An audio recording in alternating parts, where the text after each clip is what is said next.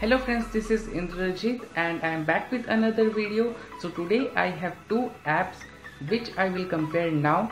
So first is Messenger by Facebook and another one is Messenger Lite also by Facebook. Facebook Lite have was released early last year and it's pretty good. It takes less space than the regular Facebook app and consumes much less data.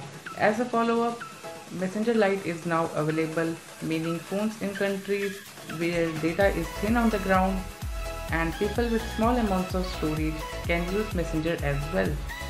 So without further wasting the time, let's get started.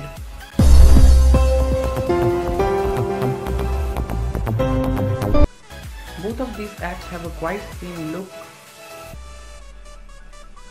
but the whole scenario changes when you click on any chat. Because you will not get many features in the Lite version, for example video or audio calling or sending GIFs, sending stickers, emojis, locations and audio. Lite version doesn't support chat heads which is a great feature for multiple chatting. Memory and storage requirements of both the apps have a hell and heaven difference.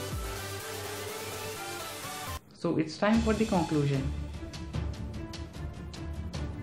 If you have a good specification phone and you aren't concerned with the mobile data and storage, then you must download the Messenger, else go for the Lite version.